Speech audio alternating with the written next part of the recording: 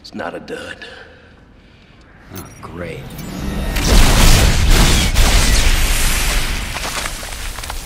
Okay guys, buckle up. This is gonna get gory. Yep, I'm basically making a video about people exploding. I'm aware of how questionable that is. I love action films, obviously, bloody, violent ones especially, but I don't consider myself a gorehound. What I do believe in is the power of blood on screen. Cartoonish, brutal, whatever style you choose, it can be both memorable and also there for a reason. So this video is sponsored by Squarespace, which is a fantastic all-in-one application where you get 24-7 365 day support to make your own outstanding website. Start your free trial today at www.squarespace.com slash Rossatron and use the code Rossatron to get 10% off your first purchase. Still today, generally studios feel an R rating, which Blood almost always pushes a film toward, shrinks box office. Two films planned at least at some point to be big and gory recently were made PG 13 and relatively bloodless later on for a better chance at financial success. And since those films did very well, much to the surprise of many, that prevailing sentiment isn't going anywhere. So, choosing to have blood is a statement. Generally, the red stuff, you're gonna have to fight for it. The best way to fight to have it in your film is having a reason for it to be there.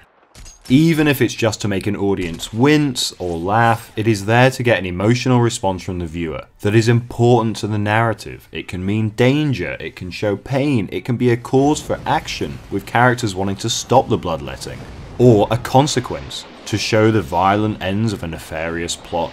Blood is almost always a highlighter, in video games, it is most often used to show hit detection, and film isn't far off that. In the end, we are all full of blood. The sight of it elicits a response in all of us due to that.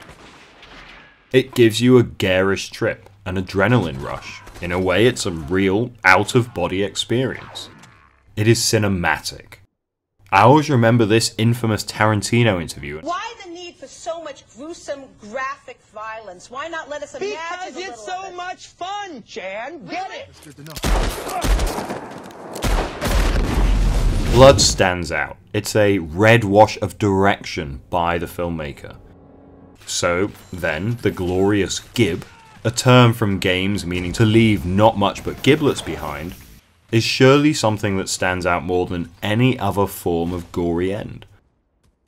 Even in more realistic depictions, generally a gib is either to dramatically show power, or an end save for the worst of the worst, to really give them the most clear end.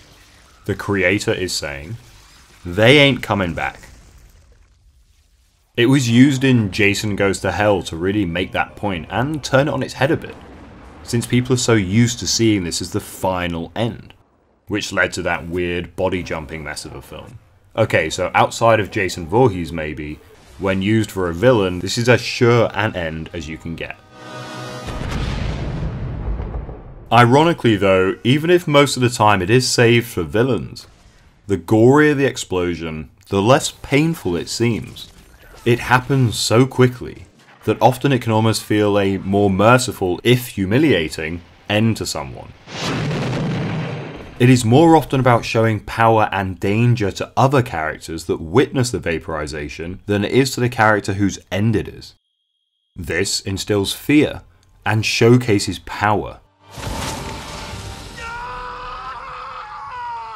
In Saving Private Ryan, how do you showcase both the brutal reality of war and show how rudimentary and volatile the weapons these guys are using is? Get a soldier to blow himself up. It is shocking to the characters and jarring to the viewer.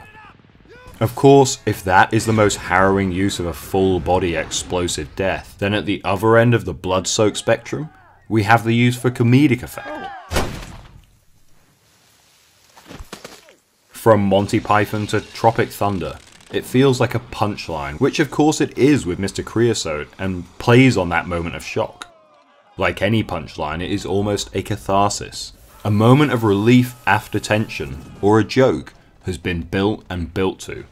Though often a moment of surprise, the explosive death is rarely not led into.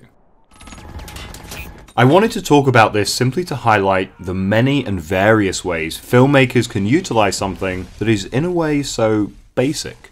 A person blowing up is usually going to look the same, but its function in a film, to the story, to the audience, can have an incredible range. It always plays on a mix of relief and surprise linked to a beat of comeuppance or a show of power, but in the hands of a creator who understands gore, can have a little more reason than just shock Something like this can be quite useful as a storytelling device. And simply, in terms of effects, practical or digital, done well, there are few things as cinematic as this. The Gib really, in both a comedic and harrowing form, is a punchline, a full stop, a conclusion to a bad guy's vicious acts.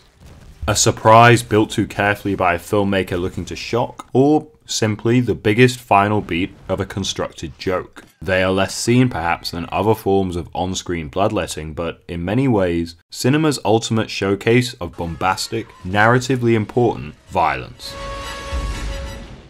I finally started making a little bit of headway on my site, which I'll look to launch early next year.